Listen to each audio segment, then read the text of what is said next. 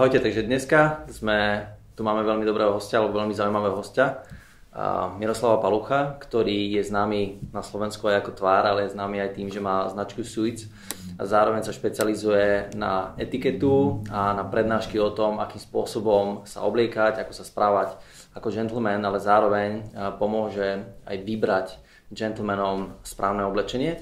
No a tým, že sme tu dnes v rámci tohto podcastu pozvali tohto hostia, tak samozrejme, že sa ideme baviť o biznise, ideme sa baviť o podnikaní a ideme sa baviť aj o začiatkoch. Takže chcem vás veľmi pekne privítať. Dobrý deň, zdravíčko. A hneď začnem, áno, začnem, začnem hneď s takou otázkou, že aké boli začiatky podnikania, alebo ako ste začínali podnikať, že ako dlho podnikáte a ako to bolo celé na začiatku? V podstate tak asi ako všetci, keď eh, v 89.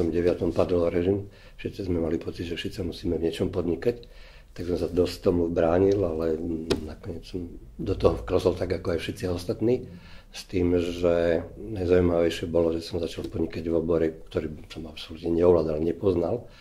A chvala Bohu, dneska je už tá situácia tak, že som sa v podstate vrátil na staré kolena k tomu, s čím som kedysi začínal. Tak to znamená pánska moda, odívanie, styling, a tým, že nejakým spôsobom inklinujem a páči sa mi odbor etikety, tak aj z tejto oblasti som získal nejaké certifikáty a v podstate nejaké právo používať alebo využívať túto etiketu tak ako v bežnom živote, tak aj pri prednáškach. Dobre. Môžete mi teda povedať zhruba, že, že čím všetkým ste si preskakali alebo čím ste, všetkým ste prešli? Aspoň nejaké také načrty v rámci toho podnikania? Dlhý príbeh. Okay tým, že nie som najmladší. Ano. A mal som nejaké šťastie a výhodu v tom, prapôvodne som telocvíkar, mám fakultu telesnej oh, výchovy. Super. A odrobil som si nejaké roky v, v tomto smere, čiže odozdal som alma mater to, čo som získal. A dostal som nejakú ponuku, ešte v tedajšom období bol prior, a že či nechcem náhodou robiť v športe, že je voľné miesto, mm-hmm. tak som nastúpil do športu ako zastupca vedúceho, potom som v rámci toho celého si urobil nejakú ďalšiu vysokú školu, či ekonómiu, riadenie a organizácia vnútorného obchodu. A ostal som v tom športe, čo bolo ako veľmi zaujímavé, príjemné, že v živote som netušil, že môžem byť nejaký obchodník. A v rámci toho celého zase v nejakom 84. alebo 5. prišla ponuka, či nechcem robiť vedúceho, a vtedy v podstate prvého jediného, jediného zahraničného butiku a tá značka, hádam sa už dneska môže povedať, bol Stefanel, uh-huh. čiže som sa dostal k móde ani neviem ako a ostalo mi to v podstate celý život napriek tomu, že som robil v oblasti aj svietidiel, žiaroviek, nábytku a všetkého možného, čo k tomu prišlo. Ale tak, jak som hovoril na začiatku, a vrátil som sa k niečomu, čo si myslím, že ovládam, mám k tomu vzťah, rozumiem tomu a v podstate tá práca pre mňa nie je práca, je to pre mňa zábava ako taká. A ako nie je už dneska tajomstvo, že som šiestý rok na dôchodku, dostal som e, príležitosť a možnosť prevziať tento salón minulý rok, ktorý už tu beží nejakých 6 rokov. Mm-hmm. Beriem to ako výzvu, mám dvoch ráno stať, nemusím sa otravovať a nudiť chodiť po domov dôchodcov. Takže sa venujem eh, tejto činnosti, aj keď to nie je najjednoduchší biznis. OK, keď sme už pri tom najjednoduchšom biznise, a vy ste vedeli, do čoho idete z pohľadu biznisu? Alebo a, bol taký skok? Určite áno, určite áno, pretože pár rokov dozadu som vybudoval podobný salón pre jednu slovenskú značku s francúzským názvom. Uh-huh a nebolo to ľahké, ale tam som videl, že sa to dá urobiť, že sa to dá vybudovať. Záleží samozrejme v akom segmente ste, či je to nejaká ja neviem, konfekcia alebo šitie jedným spôsobom, druhým, tretím. Čiže je, je tu priestor, keď si zoberiete, že ja neviem, koľko môže byť chlapov na Slovensku, každý druhý, ak sa potrebuje slušne a dobre obliesť, mm-hmm pretože dneska už nestačí mať len zaujímavý a dobrý biznis, ale sa potrebujete aj vy nejakým spôsobom odprezentovať a na druhej strane aj ten klient má nejaké očakávanie, takže ak chcete predať niekomu, ja neviem, vymyslím si životnú poistku a prídete v nejakých špinavých topánkach a v pulovri, tak si myslím, že asi ťažko sa predáte. Jasná. Dobre, a prečo bolo to rozhodnutie? Vy ste hovorili, že kvôli tomu, že chcete robiť to, čo vás baví, ale v podstate imič ako taký má veľa oblasti alebo veľa možností, lebo ja, ja vás poznám a už len tak z pozretia, hej, že vy ste tvár, ktorú si človek môže všimnúť, idem niekedy po parku alebo idem po Euroveji a vás si človek všimne len tak, hej, lebo sa zaujíma o modu, o imič a viem, že chodievate oblečení aj niekedy tak akože voľnočasovejšie a mohli ste si vybrať teda iný typ biznisu, prečo, prečo práve tie obleky? A nejakým spôsobom celý život to som vidie, keď si zoberiete od 84.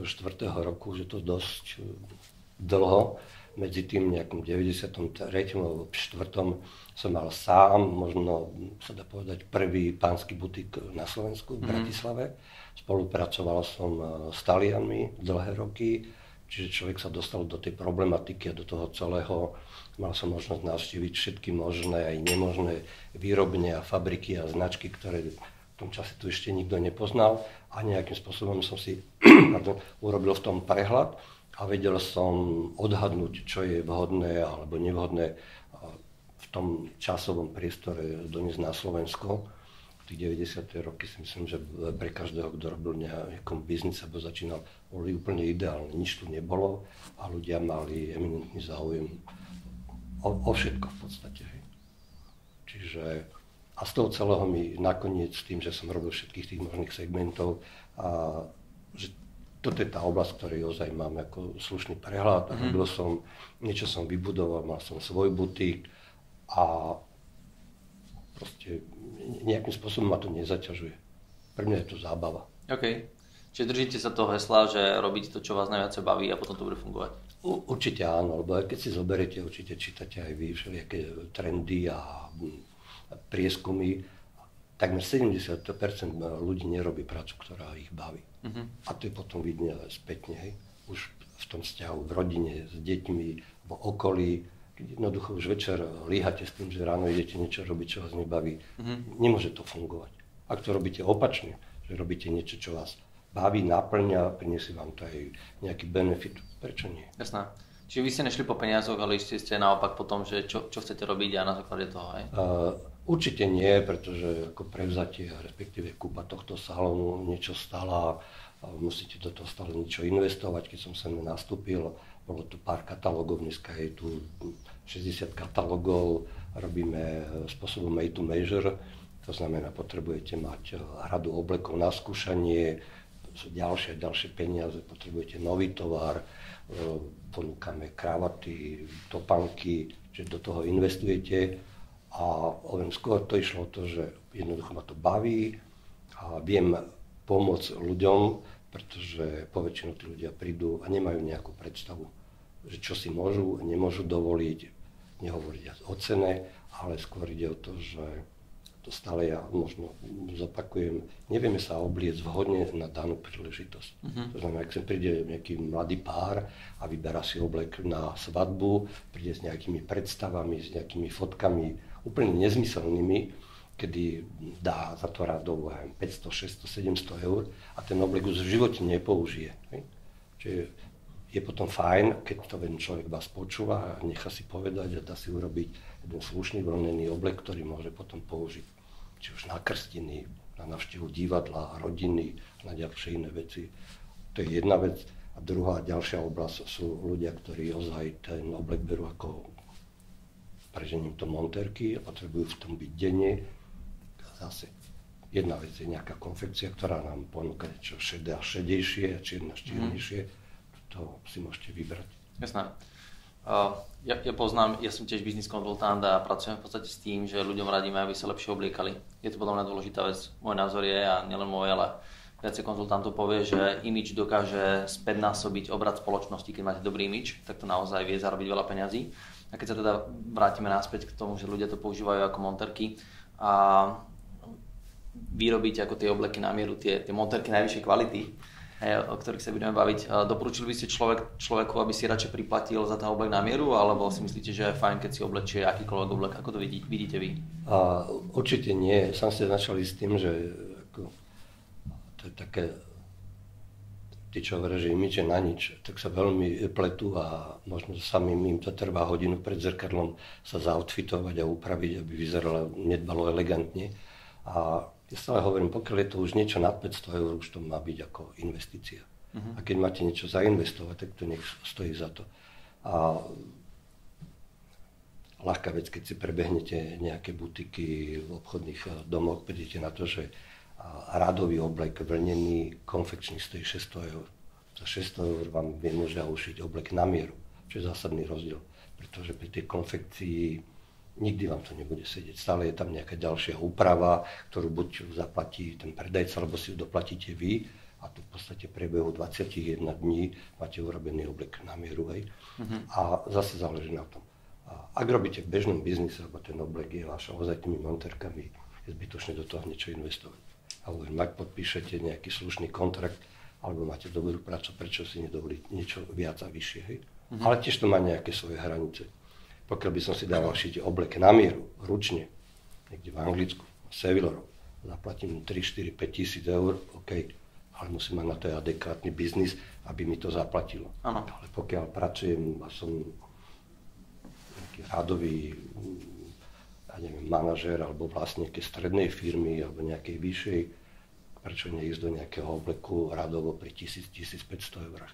A hlavne, keď je to robené made to measure, tá práca niečo stojí. Tá látka samozrejme tiež niečo stojí, každý máme nejaké náklady, čiže by sa môžete dostať na nejaké číslo.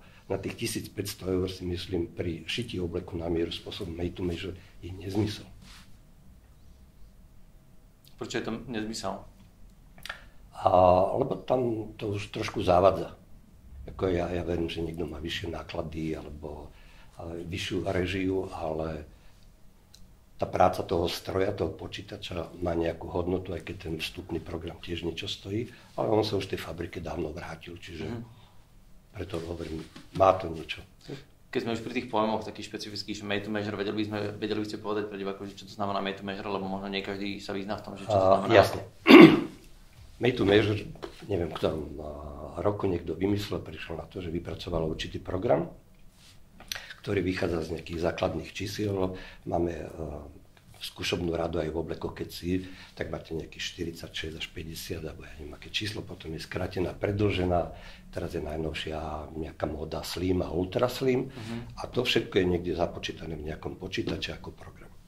U nás, keď e, príde klient, tak v prvom rade sa odmeria a vieme povedať, že okay, tieto miery sú adekvátne, ja neviem, vymyslím si 50 veľkosti. Uh-huh. Dá sa mu 50 veľkosť saka, prípadne nohavice, alebo e, väčšie alebo menšie podľa, toho, podľa tých mier a robíme úpravy. Uh-huh. A tie základné sú ja neviem, vyššie rameno, nižšie rameno, ruka, dĺžka, šírka, voľnosť. Je tam v podstate 66 možností úprav, ktoré v živote nenájdete v tej konfekcii. Samozrejme, nikdy sa nestalo, aby sa urobil 66 úprav.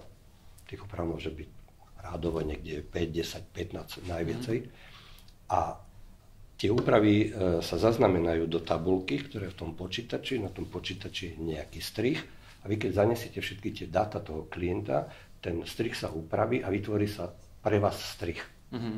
Čiže ten je niekde v databáze uložený, ten ide do počítača, nejaký počítač zase vyreže tú látku a samozrejme je tam už potom tá práca tých, mm-hmm. tých krajčíriek, ktoré sú. Ak je človek príliš komplikovaný, tak to urobíme so skúškou, ale Dneska sa dá povedať, a v rámci tohto salóna sa tu už urobilo viac ako 2,5 tisíc oblekov, že viac ako 90% na istota, že ten oblek sadne na prvú ráno. Na prvýkrát, Na prvýkrát. Hm, to je super. Čo je, čo je ako veľká výhoda. A, a preto hovorím, že jednoducho nemôžete chcieť za oblek ušitý týmto spôsobom 2000 alebo 2500. To už by musela byť ako ozaj nejaká veľmi kvalitná látka a tá si zase nezaslúži toto spracovanie. Uh-huh. Preto hovorím, že ten, to made to measure je ideálne pre ľudí, ktorí potrebujú obleky v nejakej kategórii od nejakých 400 do 1400 eur. OK, chápem.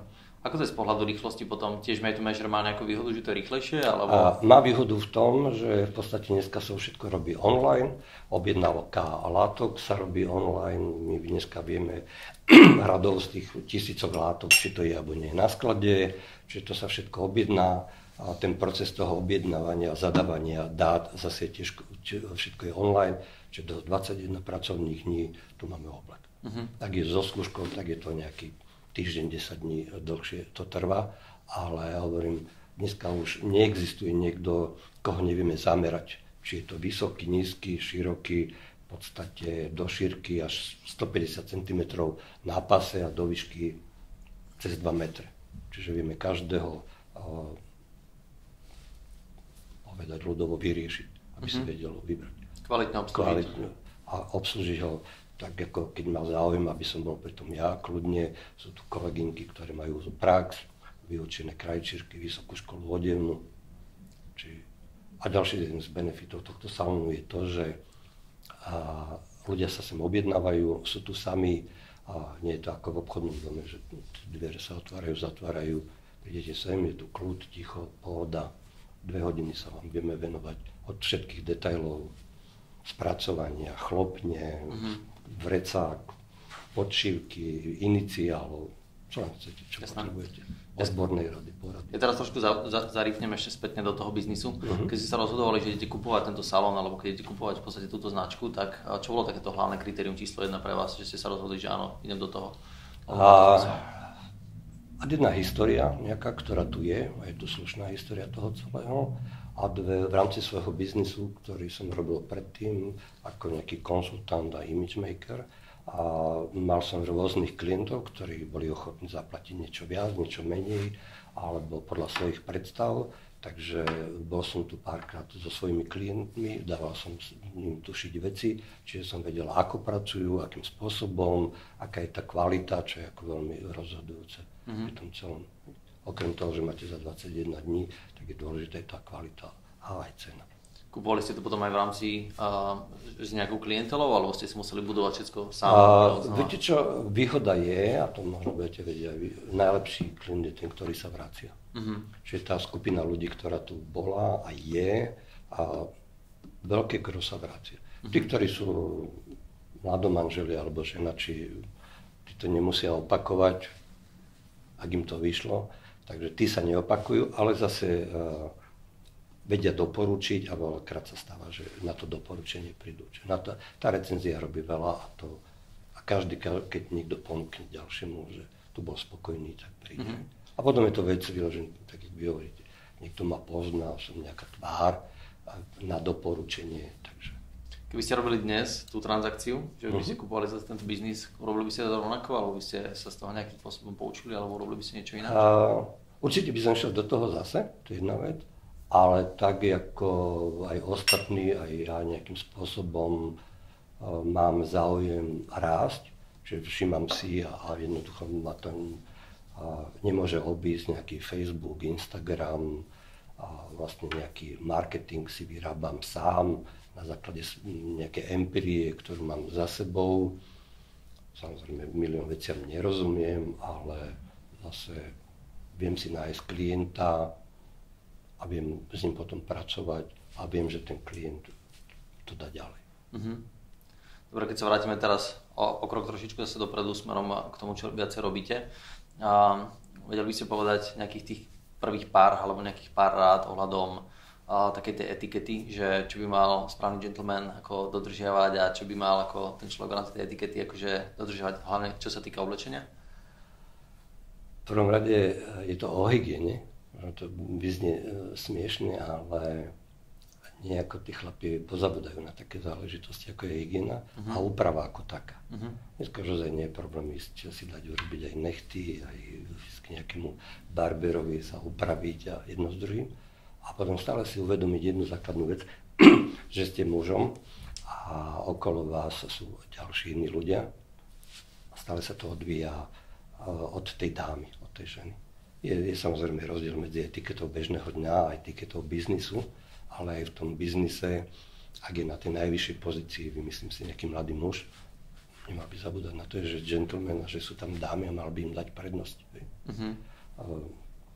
Práve minulý týždeň som riešil takú otázku, mi niekto písal, že či je vhodné, aby pani prezidentka dostávala kvety od ľudí, ktorých tam prijíma to úplne vás zarazí takáto otázka, ako prečo nie, a jedna je dáma, je žena, okay. a ešte je hlavou štátok, prečo je pri, prináleží tá kytica. Hej?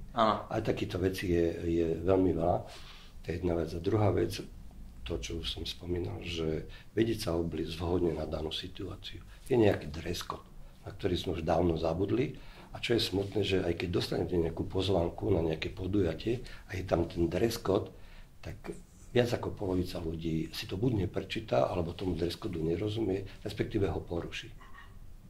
A to je, keď vynechám všelijaké VIP akcie a ostal by som len pri kultúrnych podujatiach, napríklad koncerty, ktoré som ja ako veľký fanúšik a chodím veľmi často do Slovenskej filharmonie, do Redity a vidím od toho 75.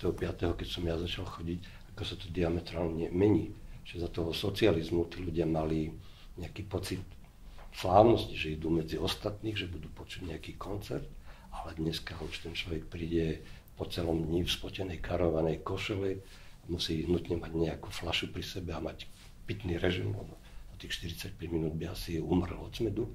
A je to hrozné. Sedíte a ten chlap príde, už keď koncert začína, otočený zadkom tvárou k vám, nehovoriac o posielaní si sms a takýchto vecí. Je to hrozné. Tá, tá kultúra toho celého nejako sa vracia dozadu. Nemáme rešpekt voči ostatným, voči prostrediu. Keď si uvedomíte, že trvá na tom, tej filharmonie je radovo 100 muzikantov, hudobníkov a sú vo frakoch oni vydržia hrať a podať nejaký výkon. On tam príde v karovanej košeli alebo v karaťasoch v lete, žuje žuvačku a pomedzi si to SMS-kuje. Pomýlil si to asi s kinom, nie? To o kine už ani nehovorím. Do kina už ani nechodím prísť. OK. Dobre, to znamená, že keby sme sa mal, vrátili k tým dress codom, viete mi povedať nejaké také základné dress cody, ktoré by ste doporučovali v podstate, aby ľudia dodržiavali za každým? Na čo by si mali dávať pozor? Keď sa bavíme Pr- v prvom rade prečítať si tú pozvanku, ak teda dostanú, a ten dress code je pre pánov. Okay. A nemôžete určiť dáme, či bude mať červené, žlté alebo zelené šaty, prispôsobuje sa tomu pánovi. To je v rámci toho dress code ako takého. Ale ten dress code nevychádza vyloženie len z nejakého plesu, bálu alebo nejaké garden party, ale z bežného denného života. Idete do práce, idete na nakupy, idete na šport ak idete športovať, tak nepôjdete vo fraku a zase keď idete do práce, tak by ste nemali ja neviem, chodiť v kraťasoch a v nejakých žabkách. Hej? A zase záleží od toho biznisy, v akom pôsobíte, či je to najvyšší úrad, alebo či to rádový človek, ale stále je to o tej, o tej hygiene, o tom správne byť oblečený. Uh-huh. Čo je nevýhoda, žiaľ, na Slovensku, ale nielen na Slovensku, je tá, že keď si zoberiete, že denne vydávate politikov v televízii, nejaké známe osobnosti, VIP ľudí a nejako tí ľudia sa podľa nich orientujú.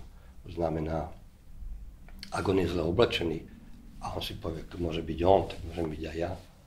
A to sa nabaluje jednoduchým spôsobom. Aha, Čiže ak je raz niekto v nejakej vysokej funkcii, ktoré nebudem menovať, či to premiér, nepremiér, predseda parlamentu, sa ukáže v nejakom tričku, má nejaký prehovor, je úražka tých ľudí. Bol zvolený, má nejaké na 4 roky niečo prijal nejakú funkciu, jednoducho musí zvládnuť byť v obleku a neprezentovať nejakú svoju partaj, treba si. Mm-hmm. A to isté, vy keď idete niekam niečo vybavovať na nejaký úrad, tak tiež počítate, že tam bude niekto slušne a dobre oblečený a neprídete v obleku a budete sa tam doprosovať niekoho. To je ešte aj nedakvatne sa správa a je aj oblečený k tomu celému. Okay. Keď sa teraz ešte dostanem hlbšie ako do toho oblíkania, a taká téma, že kravaty. Že kedy si to bolo tak vážnejšie brané tie kravaty, dnes tie kravaty v podstate ani ani vy, vy nemáte a teraz je otázka, že, že a, ako to je v tomto dnešnom svete s kravatami, že kedy by sa mali nosiť, kedy by sa nemali nosiť. A kedy si dávno robil pre Stardy Taben taký rozhovor, celý ten článok sa volal, kravata vás dobehne. Okay. A určite máte aj vy, a ja mám kravaty. Hm, táto udalosť si nevyžaduje tú kravatu. V momente, keby sme my dvaja riešili nejaký biznis uh, projekt, tak si myslím, že ak vy, tak ja, aby sme si tú kravatu dali. Uh-huh. A nie je nutnosťou tá kravata, je business casual, kde to jednoducho sa nevyžaduje, ale a niektoré zamestnania si to, to vyžadujú. Či je to bankový sektor, či, je to, či sú to ministerstva, vláda, ZMOS, Čiže sú, kde to jednoducho musíte mať. Je, nemysliteľné, aby niekto v rámci nejakého, myslím si, štátnej delegácie prišiel, nemal kravatu. Mm-hmm. Okay. Čiže prečo nie? Zase máte nejakú pracovnú večeru, nemusíte mať tú kravatu. Ak ju máte, zase ten, celý ten outfit povýšite nejakým smerom vyššie. A zase treba vedieť, sa hovorí, že podľa tej kravaty vy viete určiť, alebo povedať, že či ten muž je uh, nejako kariérne na vzostupe, alebo ide dole. Čo to znamená? Že keď má kravatu, tak ide smerom hore? Alebo a nie, nie keď má kravatu, záleží od toho, akú kravatu má. Uh-huh. Lebo už dneska sa dá rozoznať, či je to polyesterová kravata, ktorá mu nebude držať ten úzol, bude sa šmykať dole a bude si ju rozopínať alebo rozopínať kvôli restov kravatov, čo je akože úplne fopa. Ale a ak budete niekoho presvedčať, že vy ste ten pravý v nejakom danom biznise a prídete tam s kravatou, s Mickey Mouseom alebo s Dedom Razom, tak to asi veľa o vás napovie. OK, dobre. Nehovoriac o kravatách a ale typu oranžová s oranžovou vreckovkou a neonová s neonovou vreckovkou. To nemá nič spoločné ani s etiketou, ani s biznisom. To už dneska nikto nenosí ani v Burgerlande snať. Nech mi je odpustené. OK. Dobre, dobre. To znamená, že tá kravata v podstate dáva väčšiu vážnosť uh, tej komunikácii. Určite dáva väčšiu vážnosť a je to vaša vizitka. Mm-hmm. Ja keď na prednáške niekomu poviem, a hlavne keď uh, v tej sále sú dámy, že nemáte kupovať dámy svojim pánom kravaty, tak sa všetci ohradia. Ako to? A kto by im to kúpil? No nech si to kúpi sám. Nemá štýl, nemá vkus, to je jedno. Je tá predavačka, ktorá, ak je schopná, šikovná, tak ho navedie, opýta sa ho, k akému to obleku je, na akú to príležitosť je, ale ten výber musí ostať na ňom. Neviem si osobne predstaviť, že by som celý deň mal na krku svoju svokru, alebo manželku, alebo priateľku v rámci tej kravaty. To je hneď vidieť. Okay. A to vidíte a na mnohých tých politikoch, a jak u nás, tak aj v Európskom parlamente, tí, ktorí si na tom nenechajú nejako záležať, alebo a im to nejakým spôsobom niekedy tak všetci majú nejaké belase, modré, modrejšie kravaty, ale v momente, keď je ten človek má v tom nejaký prehľad a vie s tým pracovať, tak už si tam vyberá nejaký vzor, však svetlejšia, alebo potom máte aroganciu typu prezident Trump, ktorý nosí kravatu niekde trikrát tak dlhšie, ako má byť a všetky sú červené, lebo červená je tá, ktorá navodzuje silu, energiu a on je ten, ktorý spasí všetko. Okay. Nefunguje to tak. Dobre, ak sa smiem spýtať ešte potom, čo sa týka vášho biznisu a konkurencie, tak na Slovensku predsa len tá konkurencia v rámci tohto segmentu je, by som povedal, že už taká rozšírenejšia. Ako to vy vnímate? Je, je tá konkurencia veľká, je slabá, je silná? Uh, je to ľahké, nie je to ľahké? Ako to je? Rozhodne to nie je ľahké. Hej. V každom biznise myslím si, že to nie je ľahké, ale dá sa povedať, že ten segment je nejakým spôsobom rozdelený. A niečo je na východe, niečo je Žiline, niečo je v Bystrici, čiže tým pádom sa to nejako svrkáva. Aj keď je pravda tá, že dneska už, či už z Košic alebo odkiaľ, minimálne raz príde niekto do Bratislavy. Dneska sa napríklad objednal pán z Prahy, ktorý bude v sobotu tu na návšteve, respektíve mhm. príde kvôli tomu, a ako nie je problém, aby sme prijali klienta od z hoci ktorého kúta tohto Slovenska, alebo máme blízko Rakúsko, máme aj takýchto zahraničných, ktorí tu žijú. Každý má právo si vybrať. Každý ide buď podľa recenzií, podľa doporučení, podľa toho, ako sa viete odprezentovať na sociálnych sieťach. Čiže je, je, je na každom. Často sa nám stáva, že bol som si dať šiť tam, nie som spokojný, idem k vám Niekedy je to vyloženie o cene. Mladý muž sa ide ženiť, má iné výdavky, si povie, mám 500 eur na oblek, OK. Ak má menej, tak si pôjde kúpiť konfekciu do inej. Všetkých nemôžete mať, aj druhí potrebujú žiť. Takže tú konkurenciu vidím, vnímam a nemám tendenciu teraz to nejakým spôsobom riešiť cenou alebo ja neviem čím. Proste musíte zaujať tou prácou, ktorá tam je, odprezentovať to a ten človek musí nadobudnúť pocit, že tuto si chcem dať ušiť ten oblek, tu mi vedia poradiť a budem s tým spokojný a už si to bude stať toľko alebo toľko, už nebude na to veľmi pozerať. Okay. Pretože mu to prinesie v rámci toho celého nejaký efekt. Na čo viacej, ďakujem pekne, na čo viacej najviac vsádzate vy v rámci toho biznisu uh, u vás uh, pri pohľade získavania toho zákazníka? A v prvom rade je to osobný kontakt s tým človekom, ktorý tu je. Hovorím, že tu dve hodiny s tým prípadným klientom, respektíve u nás to funguje viac menej tak, že ten, ktorý sa objedná, tak už sa objednáva na nejaký termín a je rozhodnutý, že si chce u nás dať šiť, lebo si urobil nejaký svoj vlastný marketing alebo vyjde na doporučenie. Čiže je to o tom osobnom prístupe s tým človekom. A vychádzame z toho, čo ten človek potrebuje, ako mu vieme pomôcť a samozrejme musíte pracovať aj s jeho budžetom a v rámci toho sa vieme dostať. Koľkokrát sa stane, že príde a má predstavu o nejakom obleku a nakoniec v rámci jeho biznisu, jeho pôsobenia, jeho potrieb to končí tak, že si objedná nejaké pekné sako, k tomu dvoje spoločenské nohavice, ktoré vie využiť, vykombinovať, samozrejme aj košel. Mm-hmm. Čiže ide, ide hlavne o to počúvať toho klienta, aké sú jeho potreby, záujmy a z toho vychádzať ďalej. Nie, nemá tú tendenciu. Musíš, už keď si tu, tak si daj ešte jeden a toto je, ja neviem čo, používame značky, ktoré sú aj bežne, ktoré majú aj iní. Máme značku anglickú Huddersfield, ktorú nemá nikto na Slovensku. A v rámci toho celého máme jeden taký, nie len jeden, máme viacero bonusov s tým, že dneska v rámci tej skúšobnej rady vieme už ponúknuť aj slim, aj super slimové strihy, vieme ponúknuť dvojradové obleky, dvojradové saka, ktoré myslím, že neponúka na Slovensku nikto. A ja v rámci toho že pracujem už dlho v tej oblasti a mám záujem, aby ten oblek ozaj sedel a bol kvalitný. Existuje tzv. half canvas, čo je e, spracovanie tých predných dielov úplne iným spôsobom, ako je robená konfekcia, kde máte tú hornú a vnútornú látku lepenú alebo tavenú.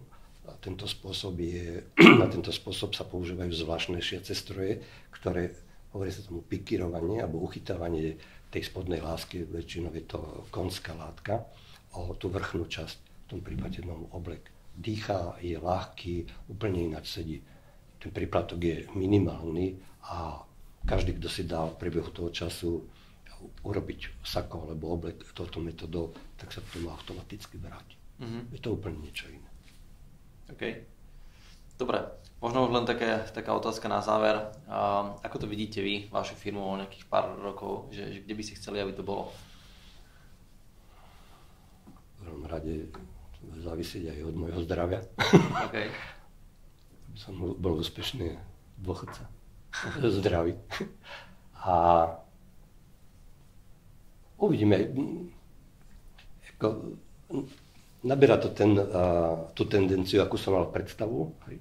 A tým, že v podstate tu zanikla jedna firma, vznikla nová firma, čo je ešte niekedy horšie a stávala sa nám viackrát, že niekto sem zavolal alebo napísal, že mám doporučenie z predošlej firmy, ale páčia sa mi veci, ktoré dávate na Facebook alebo na Instagram, tak človek to vysvetlí. A, a jednoducho tá klientela, tá, ktorá tu bola, tá sa vrácia, no prichádza a tým, že vlastne som za tých pár mesiacov postavil salón do tej miery, alebo do tej podoby, ako som mal ja predstavu, tak mám teraz e, čas sám na nejaký marketing, na stretovanie sa s ľuďmi, oboznamovanie ich, pozývanie sem do salónu, komunikovať s nimi aj v rámci prednášok, ktoré robím pre spoločnosti, v rámci etikety, biznis etikety, odievania takýchto vecí.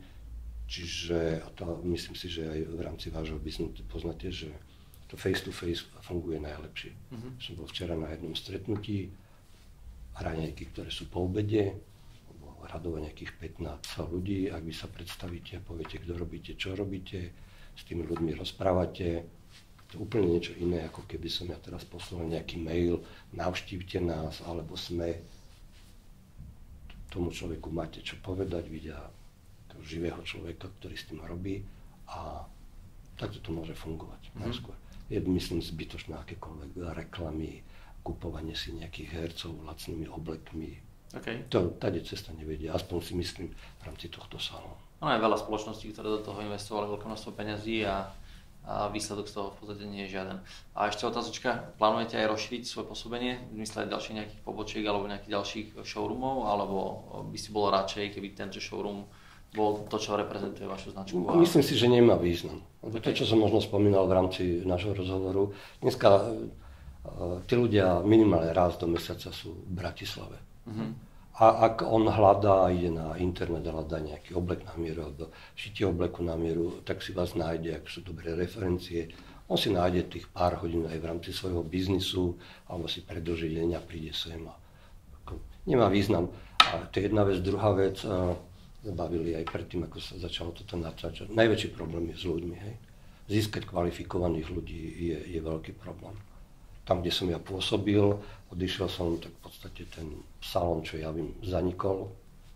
Netvrdím, že bol zabezpečený len na mne, ale určite aj na mne. A na čo ísť niekam do Košic, alebo ako, nemám nič proti Košiciam, ale pokiaľ vy tam nemôžete byť, nie ste v kontakte s tými ľuďmi, neviete si to odkontrolovať, to nemôže fungovať. Mm-hmm. Vlastne aj tento salón som predzal s tým, že nejako to bežalo, fungovalo, ale majiteľia boli od niekiaľ inodiaľ. Čiže nebol denný kontakt, denný styk ani so zamestnancami, ani so salónom, ani s tými ľuďmi, ktorí sú tu. Čiže nemá, nemá význam a hovorím, ja už mám svoj vek, ja nepotrebujem expandovať, ja potrebujem, aby tí ľudia prišli, je tu priestor, sme tu od 9. do 8. večer, je tu sobota, je samozrejme nejaký čas potrebný na to ľudí ale to nemeriam, či to bolo tento mesiac 30 ľudí alebo 35 ľudí. Pre mňa je dôležitá tá spokojnosť toho klienta a ten doniesť do toho ďalšieho. Hovorím, pre mňa možno to vyznie a, nadnesenie, ale pre mňa je to ozaj hra a ja som spokojný a šťastný, ten človek odchádza odtiaľ, že ani nečakal, že ten oblek mu bude tak sedieť a že o to stálo iba toľko. Okay. Dobre, ďakujem veľmi pekne za rozhovor. Ďakujem a... ja, že ste si čas našli a prišli sem. Dobre a... Ďalšom kole vám môžem na, ponúknuť šitie oblekov na mieru. Určite áno. Najbližšie ma budete vidieť v nových oblekoch. Ďakujem, pekne, krásne. Dovidenia. Ďakujem aj ja. Pekný deň.